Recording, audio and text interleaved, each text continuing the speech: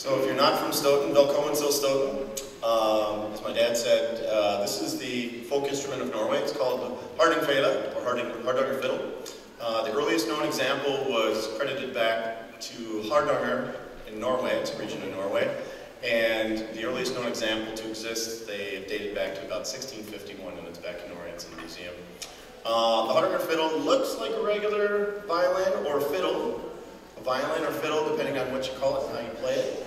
Um, but the Hardanger fiddle differs from a regular violin in several ways. It has extra strings. Um, they figured they've added, about every hundred years, they added another string. So mine has eight, and my father's has nine. And there are four strings on top, and the most common tuning is F sharp B E B. So if any of you are in uh, orchestra or strings or you understand musical instruments, that is not how you uh, normally tune a regular violin. It's completely different. It's also about the size of a three-quarter size violin. Uh, the reaches are a lot shorter, which means all your steps when you take and uh, uh work the notes on the fretboard, they're all close together. And you also play with what your uh, orchestra teacher would call uh, pancake wrist. You don't use the vibrato, there's nothing like that. That does not happen in regular music. Um, so my, a little bit about my fiddle. Um, it's got, uh, if you're all familiar with rosemaling, this has rosing on it. It's uh, a, a rose mall-like design, but without the color. And it's on the front and the back. And it's all, uh, my fingerboard is all mother pearl inlay. This was built by a fiddle maker for his son uh, from uh, uh, in Norway, which is in southern Norway and it was made by a filmmaker for his son who immigrated to America before, well before the turn of the last century. It found its way into northern Wisconsin on the estate of what we found out was called the Woodpecker Ranch outside of Osseo somewhere. It was auctioned off to a uh, antique shop, and we happened to go up there for, uh, my sister and I were going to go to Norwegian summer camp for two weeks from the Sons of Norway. And we went to get, of course, some pie at Nord uh, Norske Nook.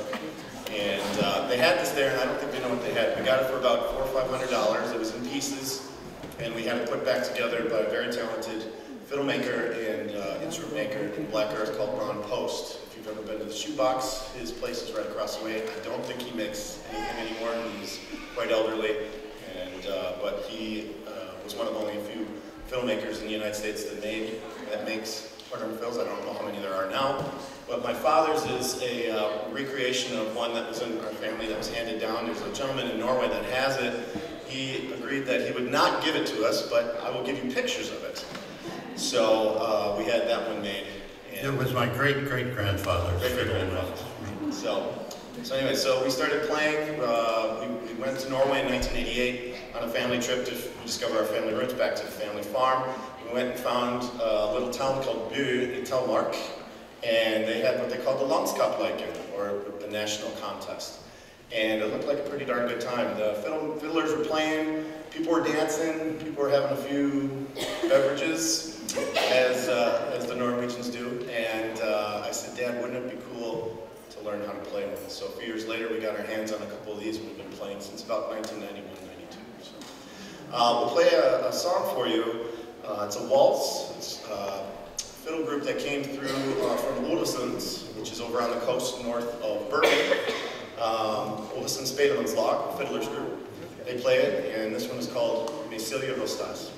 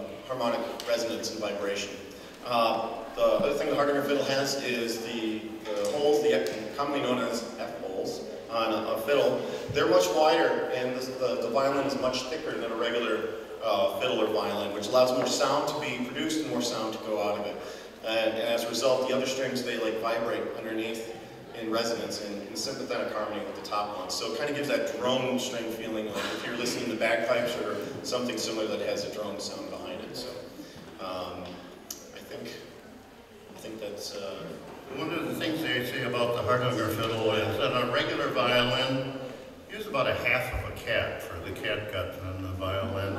On the Hardanger fiddle, they got to use the whole cat. And one of the things that I uh, just experienced here is that this moist weather kind of the strings will stretch. So we're in the middle of it, and all of a sudden I caught that my string was off. And, you know, it, it, it's not hard to tune. If you got a half an hour, you can get it tuned up real easy. but these live in a case for most of the year, so then we bring them out. I know we should probably play them more. So humidity plays plays havoc within an instrument that's 100 years old, made of wood. So, anyways, uh, we'll be back with you in a few minutes for the start of the Bunad Style Show. Enjoy and thank you for coming.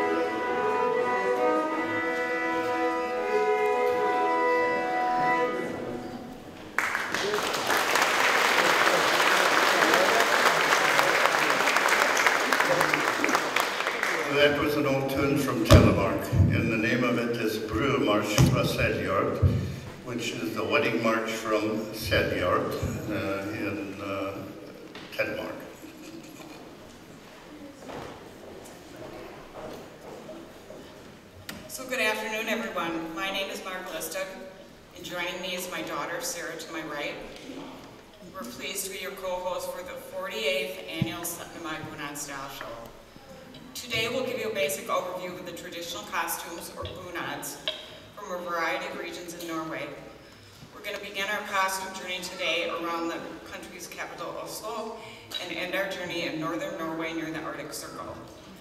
Norway is divided into five major regions, Nord-Norge, Norge, Vestlandet, Sørlandet, Østlandet. So in other words, north, south, east, and west, and middle. These regions are further broken down into counties. Uh, two years ago, Norway decreased their counties by merging some counties. So we do have a map here of the present counties, confuse you even more. So we'll, we'll have them grouped by region and by county. So what is a bunad? A bunad is a traditional rural clothes as well as modern 20th century folk costumes. The designs are typically elaborate with embroidery, scarves, shawls, and handmade silver or gold jewelry known as solja. There are bunads for both men and women. Uh, the Bunad movement has, has its roots in the 19th century national romanticism, which was revived in interest of traditional folk garments. In Norway, it is common to wear bunads at various celebrations such as folk dances, weddings, baptisms, confirmations, and especially Syttende Mai celebrations. It is also accepted as proper gala attire. The Bunad tradition here in Stoughton was brought to life by Marian Kibo. You will hear us mention her several times throughout today's show as she organized classes and taught the art of bunad making here in Stoughton starting in the early 1970s. So let's start by welcoming our 2022 Syttende Mai royalty to the stage.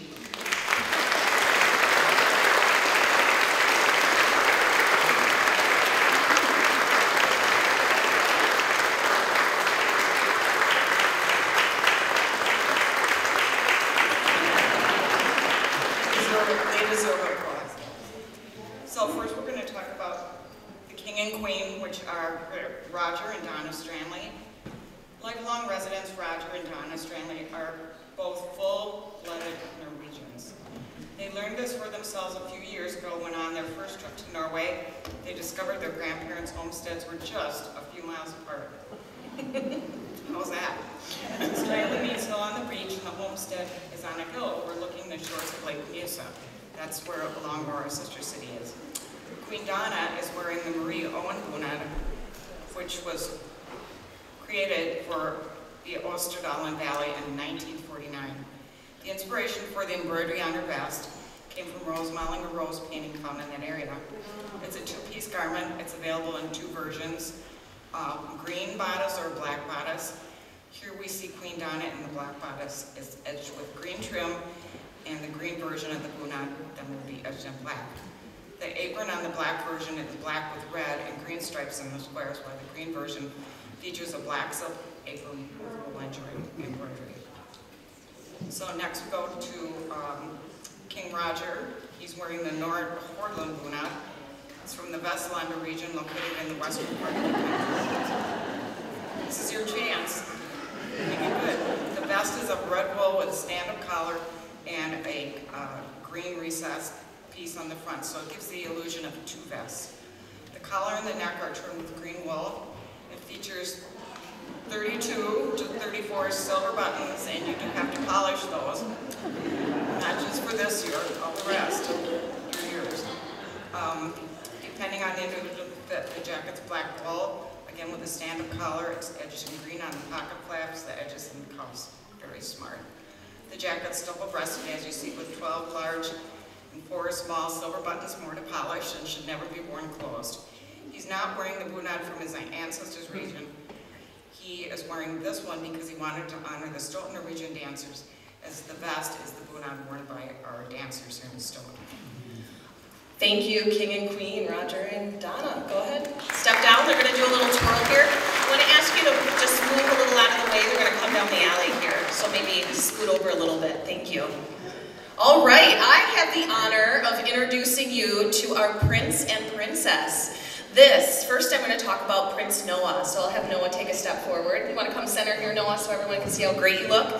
So ladies and gentlemen, this is Noah Scowen. He is the son of Jim and Angie. He is 10 years old and in the fourth grade at Sand Hill Elementary. He is a safe school ambassador and has a black belt in karate. You guys, our community is safe with this prince, okay?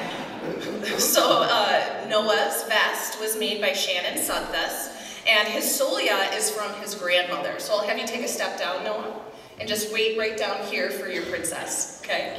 All right, I'm gonna have Cora. This is Princess Cora. So Cora Schweigert is, um, she is the daughter of Sean and Emily and sister to Eden. She is nine years old and she's in the third grade at Fox Prairie Elementary. She loves to write and illustrate stories and she loves to bake. Do you make any krumkaka? Okay, we'll, we'll get you the recipe, all right. So uh, Cora is wearing a children's festrock from Norway. Now one of the things to really note about festrocks is they aren't traditional garments. They're little, they're garments that are really modeled on the folk um, traditions in Norway in general. So um, this has very elaborate embroidery on the belt and purse. So when she walks by, be sure you notice that. So thank you, Princess Cora. Thank you, Prince Noah. Great job. Enjoy your weekend. Thank you walk down the center so they can take a look at your garments again. There you go, then you can scoot back. Thank you. So next we're going to talk about the Stoughton Bunad. In the early 1970s, Marion Kibo designed this bunad for Stoughton, wanting it to be a mix of elements from many areas of Norway that represented the Stoughton community. She pulled inspiration from several bunads. The large rose style flower on the breastplate um, is inspired by the rose modeling from the Trondheim area and it was designed by Ethel Kvalheim, our famous rose here in Stoughton, who's no longer with us. The apron design is based on a very old apron from Numedal. It has strong vertical stripes on the front along with some uh, small flowers. There's also rose embroidery on the collar and the cuffs of the blouse. In 1997, the first three of these bunads were, were completed. The first one was worn by Queen Solberg, who was a queen for that year. So Helen and Kent Carver are the models we have today. They have the green version. It also comes in a red version. Kent was the first man to wear the men's Stoughton bunads, and they bought them for gifts for each other. Helen uh, also has a short jacket that goes with her bunad. Um, it's not quite the day for jackets, so um, maybe next year you'll see that along with her hat. So as my mother noted, this is, Kent is wearing the first men's Stoughton Bunad ever made. So you're looking at history here. So thank you so much, you guys. You want to come down, do a twirl, and let them take a look at your garments. Beautiful. Thank you for sharing.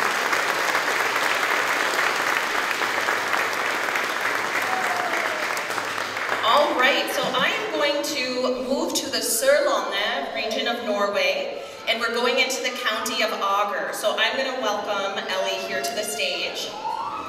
So this is the West Agder Bunad. Not everyone's a fan of this Bunad, I guess, but we are. It's got our own cheering this Bunad was designed in the first part of the 20th century and was copied after an antique woman's costume between 1830 and 1870.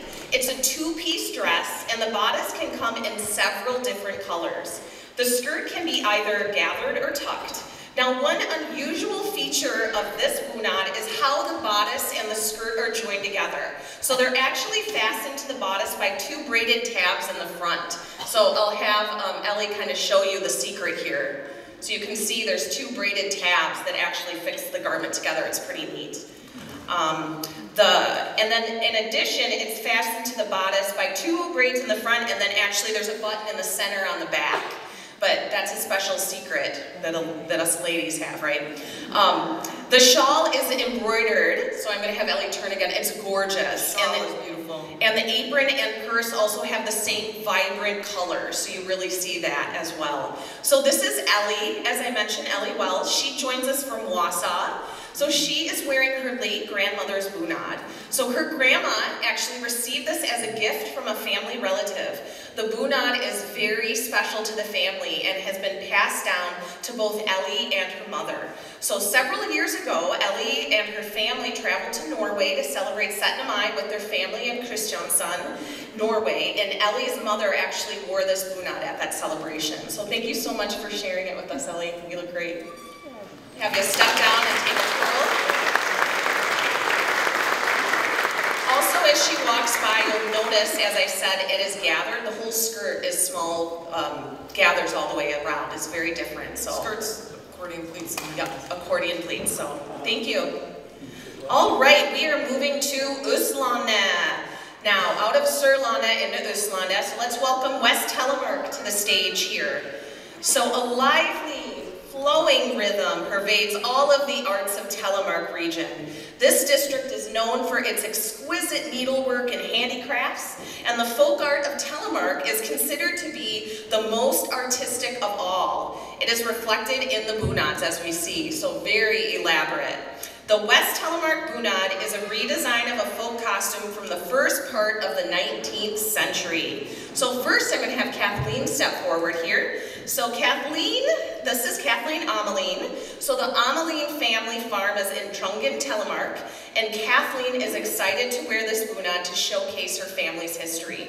She purchased it from a broker on eBay. The broker actually purchased this bunad for her own daughter and kept it for many years before selling it to Kathleen. So one thing to note is Kathleen is carrying a copy of a 1900 Grotemar. So this was used for rummegrut. Now for those of you that don't know what rummegrut is, it's a very rich porridge that you can try at the Sons of Norway today if you would like. Oh, they're sold out, I've just heard, guys. I'm sorry.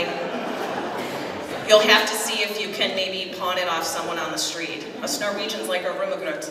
So she's also actually demonstrating band weaving at the Opera House this weekend if you would like to visit with her some more and see more of her um, special garment. So thanks a lot, Kathleen. Our next model is Tom Fendrick, and he also has a guest with him. So I'm going to talk about both. So Tom, who is, what's the name of your guest with you? So this is Isabella Grace. So Isabella Grace is actually wearing a children's Valdres costume, um, which we'll talk about more about the Valdres region. But one thing to note is the beautiful, again, elaborate um, stitching and embroidery that is really reflective of the flowers and artwork from that region.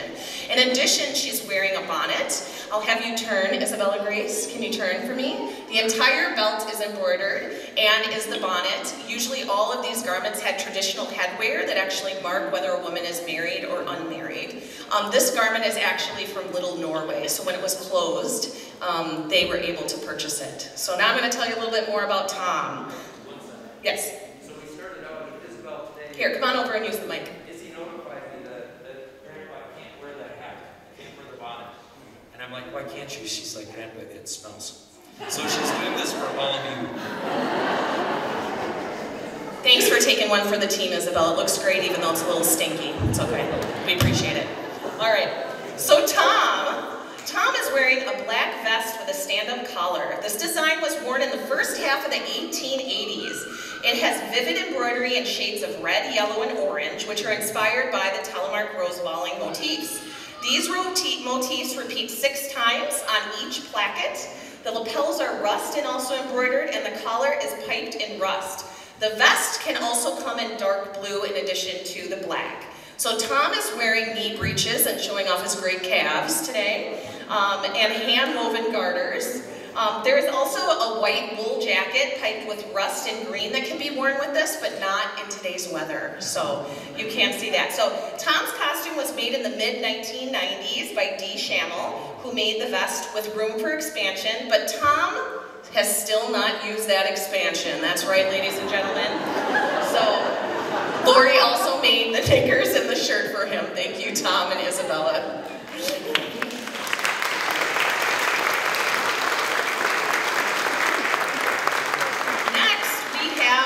David Listog. So this good-looking guy is my father, and this is my brother. so David has, this bunad was made in 1988 in the Ingeborg Amakassen Husflid in Bø i Telemark. He is wearing the version with trousers and a vest. He also has a black jacket that goes with this bunad that he is not sporting today. Um, this actually comes from the region where his father was born. So next to him is James. Um, so David and James were our fiddlers today as well. so James is my brother. Um, my mom made this bunad for him. So the vest is double-breasted with pockets both at the chest and the waist. And he is also wearing knickers with telemark pewter buttons and Norwegian patterned wool socks accented by colorful garters. He also wears a blue scarf from the Husfliden in Norway. So we have one other guest, and that is Emily Glashevsky. So Emily is my brother's girlfriend, and he's assisting with my two daughters, so she's coming out with a different region than she normally would, but she is actually wearing the Dovra Bunad from the Gudbrandsdalen Valley. So this costume was designed around 1930 after inspiration from an old hat found on a farm in that region. It comes in blue and black, and we see the black version worn here by Emily. So the main motif is um, embroidery on the garment and large, repeated, distinctive floral motifs in pink on the bodice. This is very uh, unique, and you actually only see this on garments from the Gudbrandsdalen Valley. Um, they also are seeing those same motifs on the bodice, skirt, hat, and purse. So this is a one-piece jumper style bunad that's reminiscent of the traditional dress shapes from the Gudbrandsdalen Valley. So Emily is currently a Spanish teacher for high school, uh, for Kettle Moraine Charter High School in Wales, Wisconsin, and this is her first Syttende Mai, so she's very excited to be here. So, in addition, we have two little ladies, so uh, Carolina and Ingrid Barnes. So this is Carolina and this is Ingrid. Um, they are escorted by um, Emily, Uncle James, and Papa. So uh, Carolina is four and Ingrid is two, and they are both wearing traditional Telemark-inspired children's festrocks. So this is Ingrid's first time modeling, um, and this is actually, this is how she models, she practiced this. And Carolina's third time modeling, she first modeled when she was 18 months. So when Carolina grows up, she wants to be a cheerleader or herself, and Ingrid would like to drive a garbage truck. We are very thrilled to have them. Thank you, you guys. Thanks, Ingrid. Great moves.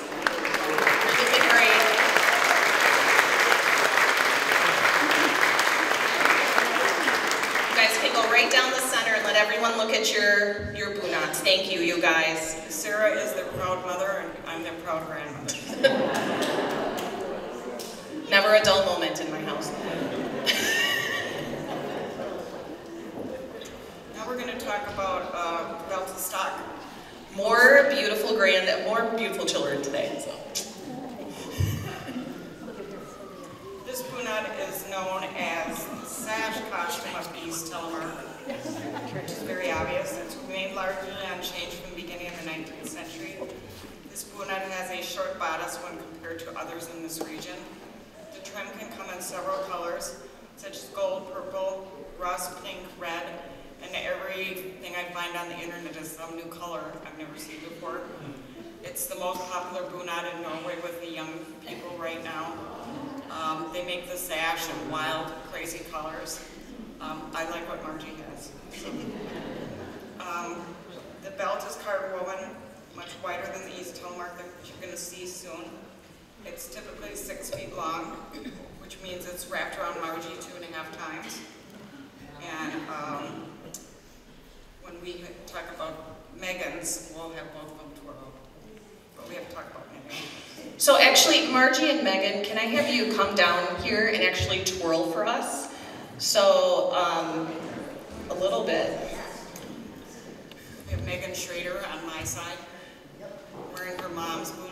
Rose Schrader's bunad. So, as my mom said, so actually um, the skirt is wide and closely gathered with a stiffened hem. So as they twirled, some old skirts have measured between 13 and 26 feet in width. And if your next question is, are they heavy? Yes. They weigh between 10 and 15 pounds. So, so Margie is telling me yes, the 15 pounds is accurate. So, so I'll let you talk about their bunads, mom. Go ahead. And then um, Margie has two of her grandchildren, great nieces. Okay. Yeah, these are Margie's great nieces. This is um, Freya and Ruby. So you want to come down here by your great Aunt Margie? Her granddaughters. So they are wearing children's vest rocks that um, are kind of mimicking a two-piece garment. Um, they look great in the red and the green. Ladies, can you twirl and show us your embroidery on the back? Oh, they look great. Let's give them a round of applause.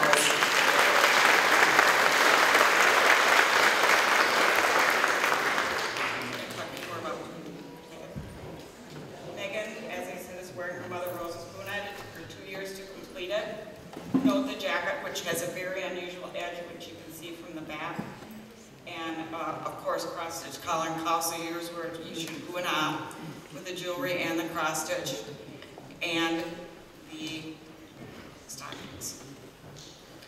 So she also proudly wears embroidered stockings, as you can see, and there's always little secrets under every skirt, so she's got great petticoats there, so.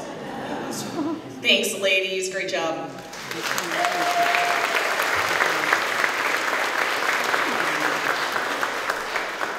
All right, we'd like to welcome a Vestfold, so we are still in Østlandet, and we are going to talk about the Vestfold Bunad. So efforts to develop a Vestfold costume began in the early 1930s, and the first one was completed in 1932. As the years passed, a number of versions appeared influenced by fashion and availability of fabric. Uh, there are two different aprons for this bunad, both copied after antique aprons. One is copied after a striped pattern wool apron from 1895, and the other is an apron design that is copied after a white cotton apron with a flower pattern. The white work for the blouse cuffs and collars are also copied from antique shirt cuffs. So this is our model, Diane Larson. Diane is wearing the beautiful blue version of this bunad with the gold trim. It is so striking, those two colors together. And she has a beautiful blue cape that goes with it, so it's blue, blue, blue on. So she made her bunad from a kit she ordered from the Heimen Husflid, which is in Oslo. So she, along with her three sisters-in-law, went to a bunad making class for three years to complete their garments. Diane shared that when she went to complete her belt, the teacher asked her, how big will you be in your lifetime? Because, I don't know if you guys know this, but bunads shrink in your closet. It's this really crazy phenomenon. So, um, as you can see, it still fits her great, and we are just so thrilled to have this garment. Thank you so much, Diane. You want to come down and do a twirl? Let people take a look. Beautiful. Thank you. She also has a bonnet, as you can see, so. Thank you.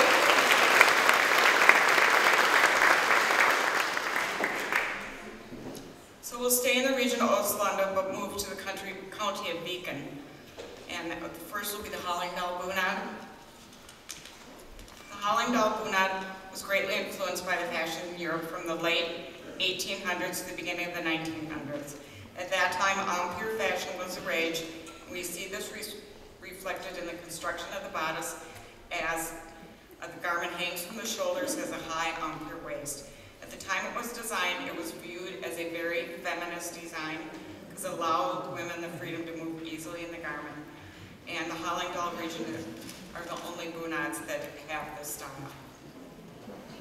Her model is Sarah Benferrato. She's wearing her mother, Karen Carolyn's Helga Stock bunad, and you will see Carolyn shortly modeling the Voss bunad. Carolyn made this bonnet under the guidance of a family friend, Kristen Holterman, who, with her family, moved to Madison for a year from Norway, so she had a great mentor. The printed blouse material, brocade for the bodice, the bodice trim and the silver all came from Norway. The skirt fabric and the trim were found with Kristen's assistance in Madison.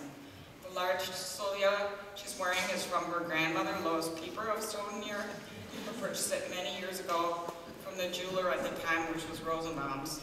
And she also has a small solia that was given her, as is the custom in Norway, a confirmation. Thank you. Sarah.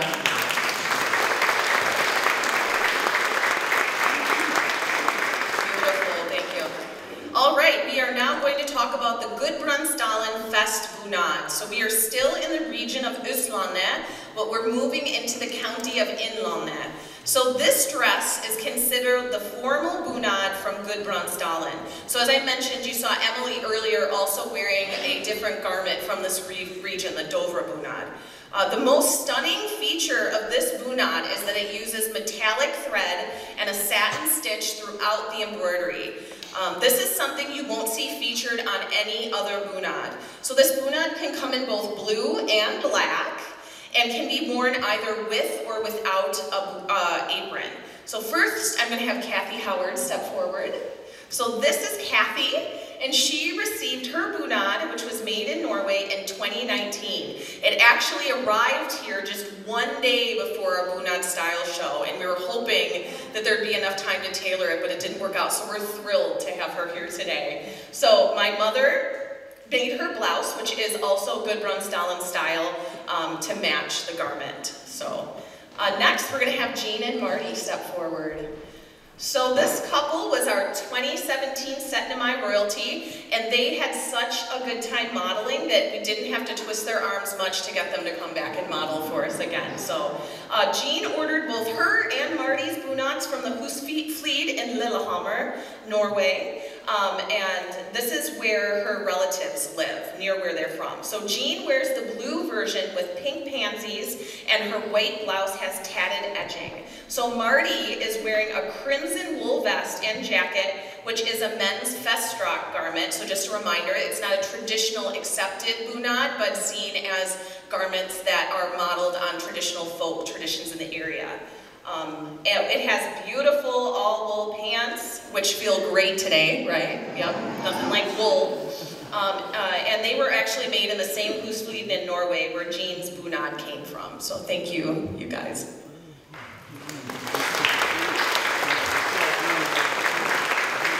Our last model is uh, Lissa Instafjord. So Lissa's mother made her dress in 1984. After it was made, she met a man who had ancestors from Gudbrandsdalen. So luck brought them together. So if you're single, you're looking for a good Norwegian man, maybe get yourself a bunad, he'll see it and he'll just be drawn to you, right? So later she was married. So that's the funny story about this, so thanks Lissa. So let's give them a big round of applause, you guys. Take a good look at that metallic thread when they walk down. Really beautiful stuff. Thank you so much. So now we're moving to Valdres. Valdres is part of the Gudbrandsdalen Valley. There's two designs for this bunad, the new Valdres and the old Valdres. Hulda Garborg in Norway designed this costume and it was first worn in 1914. Uh, it was inspired by an old headdress and shawls found in the region. The embroidery on the dress was very intricate in a floral design and features flowers in bright colors. The bunad can be made in either black or blue. Ellen is wearing the new Valdres. Our old Valdres model had an accident at the last minute, so we'll see her next year. Ellen is wearing the new Valdres. She purchased it online and was quick to snatch it up.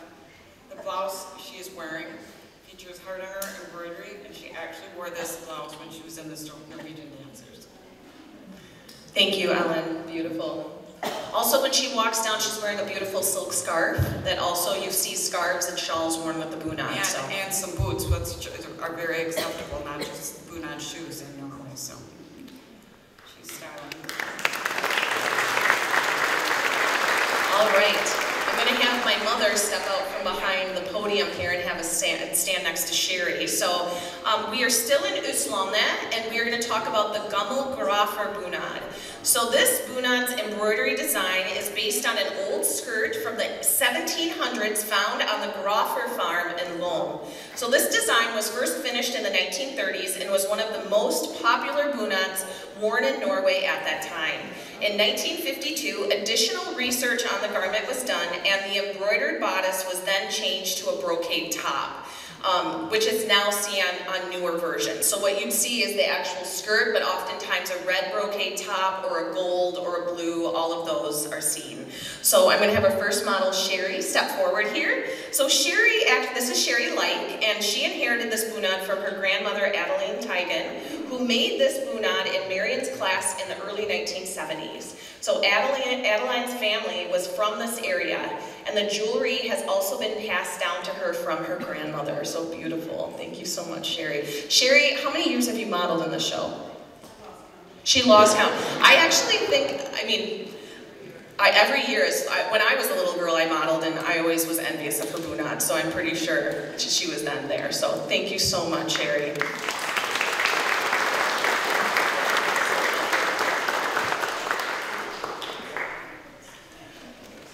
So um, this is my mother, Marg. So her bunad was purchased from a broker on eBay. And um, one of the things to note is that all of the thread is um, plant dyed.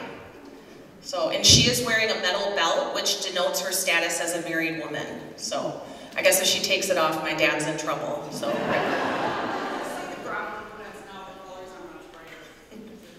all right, thank you, mom. All right, next we have uh, the Gausdal Bunad. So we are still in Østlandet and still in the county of Innlandet. So Gausdal, the Gausdal Bunad has a checkered skirt and a design that originally came from Vågå. This bunad used to be made completely of upholstery fabric because of the wish to represent every commune in the area and partly because they only had this cloth available at the site at the time of its creation.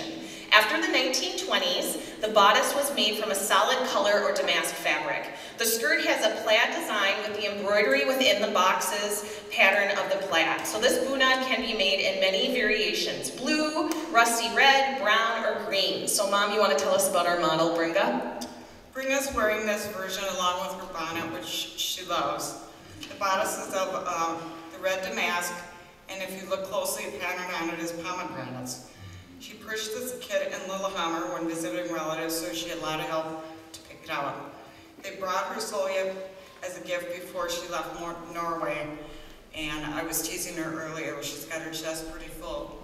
she's, she's, she's, leaving for, she's leaving for Oslo Sunday, so she will be on Carl Johan's Gata watching the parade, we hope. So Rose Schrader did the embroidery all but what's square, and she left that for Bringa to finish so she could say that she'd embroidered on it. So thank you, Bringa, and have a great trip.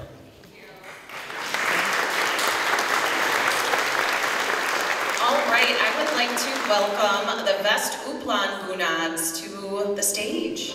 So this bunad is from Stoughton sister city in Norway. So the committee that designed the Gjøvik bunad was formed in 1937. So the embroidery on the hymen design was taken from a design from a sled pillow. The embroidery is an ecru and has a very interesting border with French knots. One of the special things about this bunad is the bodice design. So I'm actually going to have Mary and Stephanie turn around. So um, you can see that there's a peplum on the bodice that is divided and it's gathered. So it's very unique and pretty. So when Mary and um, Stephanie walk down, be sure you take a look at that. So First, I'm going to have um, Mary step forward. So this is Mary Onsager. So um, Mary um, actually helped, uh, Marion Kibo was key in helping with this pattern. So Rose Schrader did the embroidery and Ruth Dietzman put it together for Mary in 1997 and it still fits her like a dream. Yes, it does. All right, next we've got Stephanie. So Stephanie, I'll have you step forward. So Stephanie's family is from this area in Norway, and she bought the vest from a broker online and ordered the skirt kit from a Husfliden in Norway. So again, Rose Schrader embroidered the skirt, and my mother tailored the garment to fit her. So Stephanie actually used to work at Livsreise downtown, the Norwegian Heritage Center. Um, she now lives in Lone Rock, um, but she still loves Stoughton, and we're so blessed she came to share it with us. It's good to have you back, Stephanie. Thank you so much.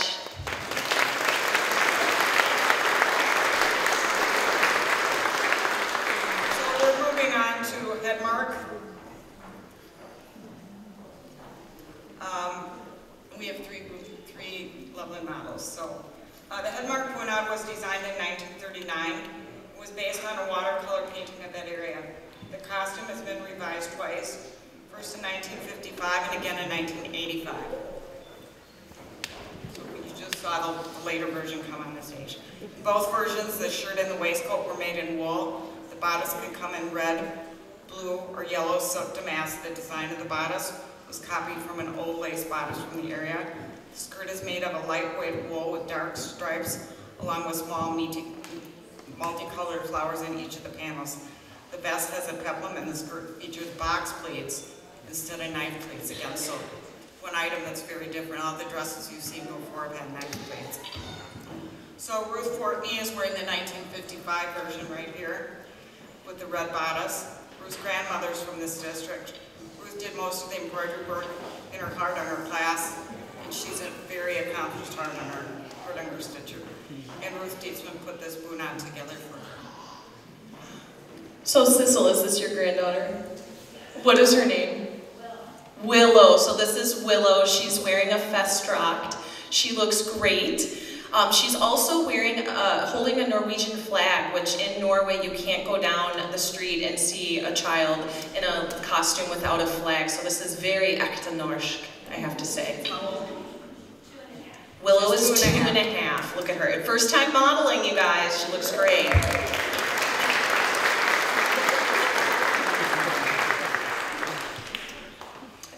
So next will be uh, Sissel. Sissel purchased a kit for this bunad from the Husflid in Hamar, completed as a 4-H project. She was born and raised in Norway, in the Ringsaker area. She grew up on a farm. She loves this design because the flowers represent the wildflowers that grew in that area. We're talking about the wildflowers on her beautiful intricate. She did also the white and white embroid- embroidery on the collars and cuffs of her blouse. The brocade used to make the bodice belonged to her mother. The soya were gifts inherited from her family. Her hat, which we love, as I mentioned, was a gift from her parents on her 25th birthday. It's made of silk brocade with a lace trim, and it's meant to signify that a woman is married. So thank you both ladies. All right, our last models here. We have Torin Johnson. She's wearing the 1985 version of the Hedmark Bunad. So um, she visited her great grandma Gunda's birthplace in Norway and actually purchased, purchased it from the landowners. So the crown that she is wearing was worn on her wedding day, and it is traditionally thought to keep evil spirits away as it reflected sunlight and waved in the wind. So the evil spirits couldn't take her fertility, it was reflected away. So uh, she's accompanied by her two children, Hemley and Rolf, who are both wearing children's festdrakts. So how old is Hemley? They're twins, my goodness. They are 19 months. And we also have Grandma Jan here. Jan is actually wearing the East Telemark Bunad, which is known as the Red Jacket Bunad of Norway. And the Queen's Bunad, as this is um, also worn there. So it has the um, very uh, woven sash and also intricate embroidery that's very much reflective of the lively Telemark inspired rosemaling. And these two twins keep Grandma and Torin very busy. So let's give them a round of applause. We're so blessed. Thanks, you guys. The twins and their mother live in the Minneapolis area, so it was a trek to come down here, all of them, and I understand they even brought the dog. But he model. All right, let's welcome the Hardanger Bunads to the nor- to the stage. So now we are moving into the region of Vestlandet in the county of Vestland. So this is a well, most well-known bunad in Norway. It has made the national, it was made the national costume for all of Norway in the late 1800s as romantic nationalism set in after Norway became independent from Sweden. Um, there are many variations of this bunad, but all are one-piece jumper styles with black skirts and red bodices. The bodices can be trimmed in black velvet, flower braid, embroidered braid, beaded braid, brick rack trim, or with beads. There is also Hardanger cut work on the collar and cuffs of the blouse and on the apron. The beaded inserts found in the center of the bodice is where you will find the multiple variations on this bunad. There are well over 200 different approved designs for these inserts. So first I'm going to have Sheila Beatty step forward. So Sheila has an exquisite bunad with an outstanding example of a red wool cape that she does not have today, but imagine it, it's gorgeous. Um, she made her bunad and spent one winter on the beading alone, so a lot of individual handwork on these. Her belt ornament, um, her belt ornament and purse clasp of gold complete the outfit, so it is just stunning. So when she walks by, be sure you look at that beading. That is an entire season of beading. Uh, next, I'm going to have our model Kristen Clausen step forward. This is Kristen's first time modeling. So she is actually wearing her mother's bunad, which was made by her grandmother who immigrated with her parents and younger siblings to Beloit in 1901. She was only 18 years old when she came here. So working in a boarding house, uh, she met her grandfather, a Danish blacksmith, just back from the San Francisco earthquake. In 1953, they went back to Norway, and while in Norway, her grandmother bought the beaded breastplate for the vest, beaded belt, Hardanger lace for the apron, and the maiden's cap. She is also wearing her grandmother's solias, or her pins. With the help of a good friend, Carolyn Benforato, right here, she made a new skirt and a new apron insert with the original Hardanger lace. So you guys are looking at tradition wrapped in heritage here, which is really what these garments represent. So thank you so much for sharing it with us today. Kristen, you look amazing. Thanks, you guys.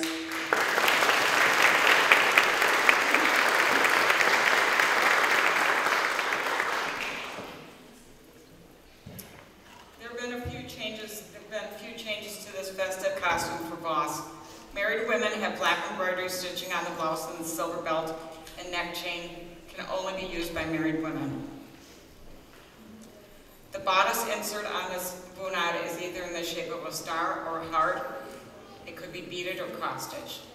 The green wool trims out the neckline and the hemline. Um, and you're wondering about what's the difference between this one and maybe the one that Sheila had on. Uh, you'll notice when uh, Carolyn turns around that the green is cut out around the armholes in the back, along with the Rick Racker beading trim along the armholes. That's the dif difference. Also, she has silver lace at the bottom, which indicates she is a married woman, and again has a beautiful heart on her apron. Carolyn is wearing her mother Lois Pieper's bunad. Marion Kibo uh, made the dress, and Mrs. Hovey embroidered it. And I ran into a lady yesterday that came into Livsreise with a, also a Voss bunad, and she said Mrs. Hovey made it. Um, uh, She's also wearing her great-grandmother's soya. Some versions of this costume do not have a purse, and hers happens to be one of it. Carolyn is also wearing the Kona Scout on her head, and this does signify also she's a married woman. It took her 20 months with an eruption to complete the intricate, and I mean intricate, black cross-stitch embroidered embroidery on her headpiece called svartsaum. Carolyn wants to give special thanks to Laurann Gilbertson at the Vesterheim Museum for all the artifact help and written resources on just how to wear that and how to get it to look like uh, it did a hundred years ago. So, um, the original style, of course, women never cut their hair, and their hair was braided on both sides of the head and wound into knobs to help the hold the headpiece in place, and we don't go that, go there anymore, so. But anyway, thank you for Carolyn. It's authentic and beautiful. Thank you, Carolyn.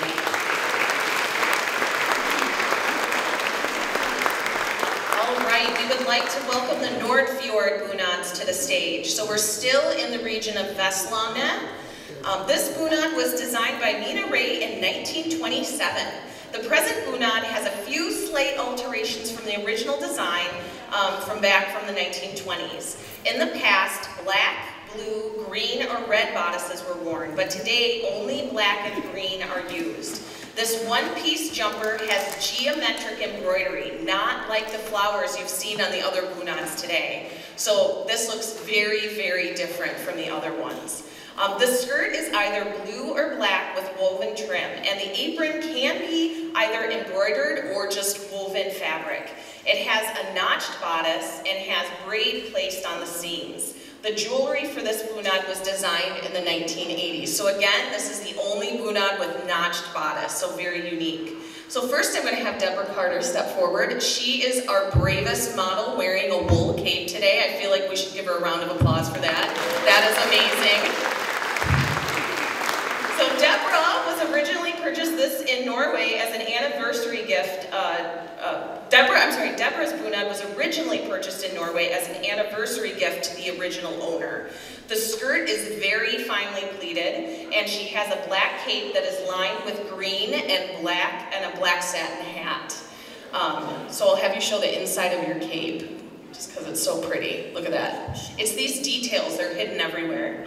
Um, thank you, Deborah. Next, I will have Carol step forward. So this she is a wife belt too. Yes, she does have a wife belt as well. Not yet. She just likes the bling, as I do. Okay, so Carol is wearing her late mother's Bunad Bev de Groots. Now, Bev had made this dress in Marion's class in 1978, and Bev said that she just wanted a piece of Norwegian culture for this French Canadian, and she chose this Bunad because it was so unique. So, Bev was a long-time model with us, so it feels like a little piece of home having you here modeling it for us. Thank you so much, Carol.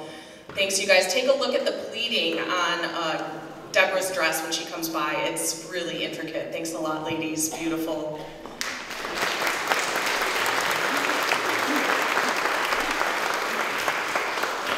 So now, we're gonna talk about the area from Vestlandet, which is Sogn, and, um, it waited a long time. So anyway, Sogna Buna was designed by Anna Knudsen in nineteen twenty, was inspired by an antique costume from the last part of the eighteenth century. Uh, the ladies' bunad is a one-piece jumper style. Uh, the brocade can come in a number of different colors. Uh, today we have black and red, but it also comes in green or brownish color. Um, so they all can look a little bit different. Different communities choose different colors if you go to Norway as well. Surrounding uh, the bottom of the skirt is an antique border, either in red or green. These happen to be green. The design is called the snow on the mountain, the sun sets on the fjord. So if you look at it closely, you'll see what, we, what we're talking about there. The unwired women wear a black velvet belt with a metal buckle, and the married women will wear the married women belt. First um, model we have here Jody Kuhn. She's wearing the blue bodice. Jody's apron is patterned silk rather than embroidered or hand woven. Jody's apron is, uh, like I said, it's, it's uh, woven aprons can also be worn. Her blouse is made of white cotton or linen. I'm not sure linen what it looks like. It's white cut work. Uh, you can also use a blouse with black cross stitch. And you may also see over the white blouse, but yet under the dress, a green soft shirt. So, um, to the left of her is her lovely husband, Bob. Bob's wearing the traditional Sugna vest. It features the red double-breasted design and trimmed in black. Features those many silver buttons you have to polish down the front. He's wearing black knickers and hand-woven socks and garters. Tell me again what year you were a royalty. What does it say? What year we were a royalty? 2018 they were a royalty. Lots of royal blood in our midst today, you guys. And they also own uh, Culver's here in Stoughton, and I'm sure everyone has stopped by to eat sometime.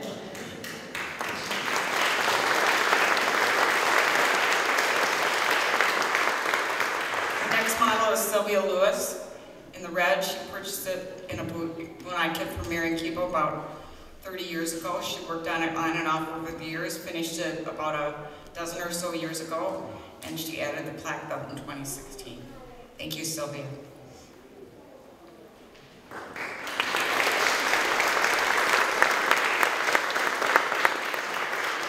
Now we have our royalty from last year, Donna and Randy Olson.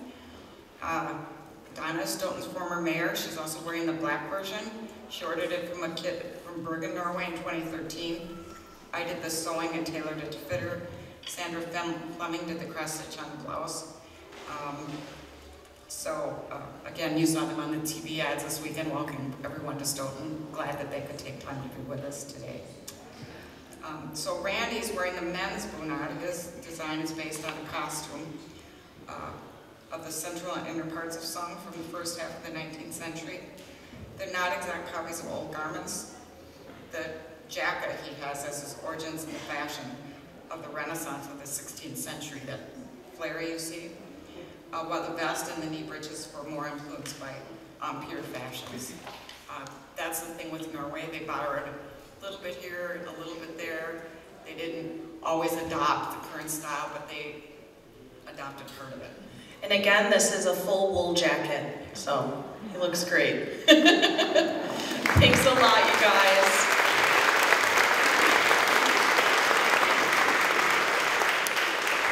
All right, we are now moving to uh, Trøndelag. So we are moving into the fourth of fifth regions in Norway, Midt-Norge. So we are in the county of Trøndelag. In 1923, three teachers introduced the new ladies Trønderbunad for the entire Trøndelag district. It was the result of three years of research. As was often the case at the time, one of the objectives was to use Norwegian fabric. Previously, linen was cultivated in Norway, and this group wanted to revive old techniques for weaving drill and damask. Today, both the bodice and apron are sewn in damask. Since this costume was being designed for a large geographic area, some optional colors were also selected. So here we see blue, but you can also see this in rust or green.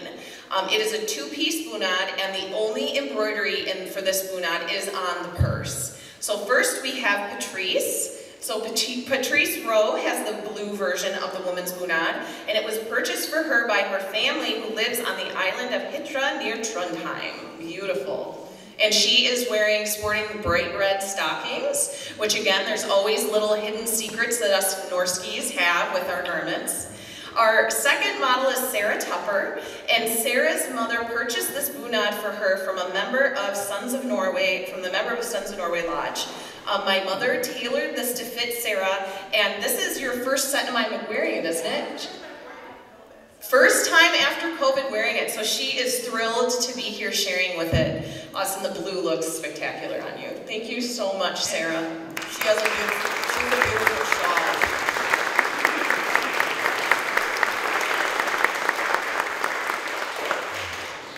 So we're now moving into the last and final region up in Norway, Nord-Norge in the country of Nordland. Most of the source material for uh, the bunad, both the men and the women's, came from the city of Vestfold.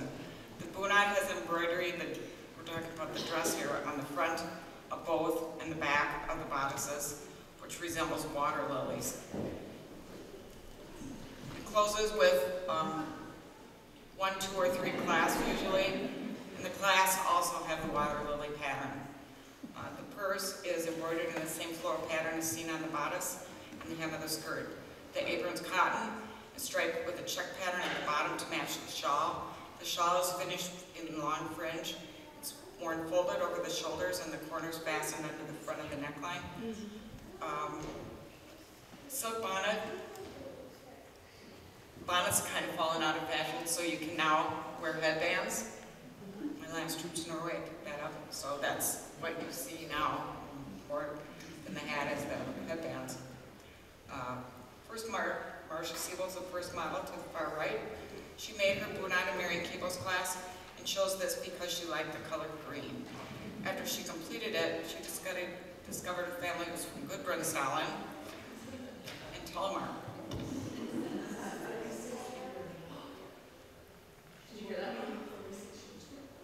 So she made it 46 years ago.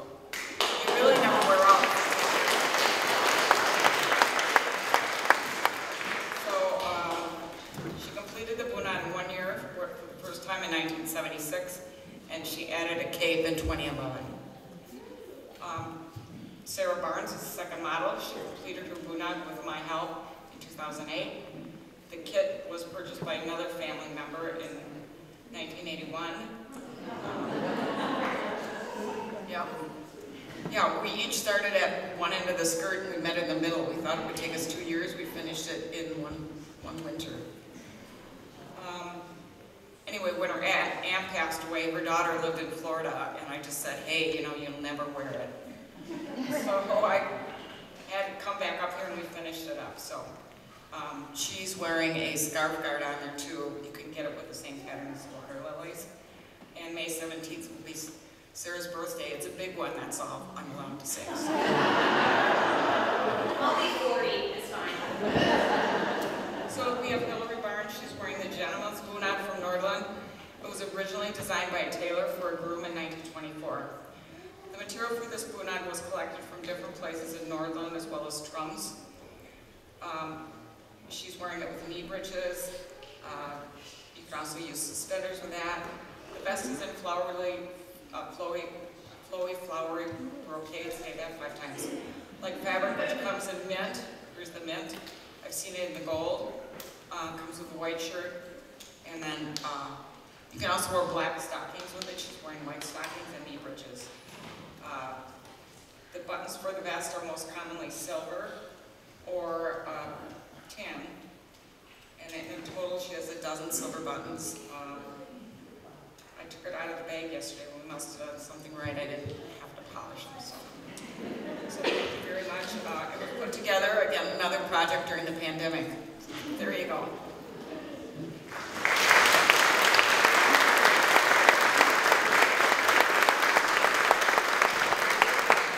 Thank, thank you everyone for joining us today. Thank you Stoughton Cable for filming the show. Thank you to Pastor Lehman and the church. Um, be sure look around, take all your belongings with you, including any papers you have with you, um, so they don't have to do picking up before the service tomorrow. First Lutheran's been kind enough to let us use this facility year after year after year, and we don't want to wear out our, our welcome. So, um, to finish up this show, we're gonna fiddle out the remaining models. So we'll have one last promenade for all of the models to walk by, and our fiddlers are gonna bring us out. So hit it.